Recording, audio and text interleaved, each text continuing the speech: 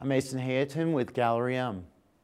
I wanted to share with you a really cool photograph by Andreas Feininger. Feininger was one of the second wave of major photographers with Life magazine, and specifically, he helped pioneer some of the techniques that are commonplace today, from tripods to architectural photography. This photograph is of 42nd Street as viewed from Weehawken, New Jersey course, the landscape and the building scape has changed today.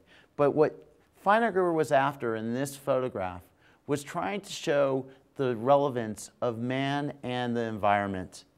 And the importance of a photograph is it takes that moment in time and stores it for us to refer back to for future reference.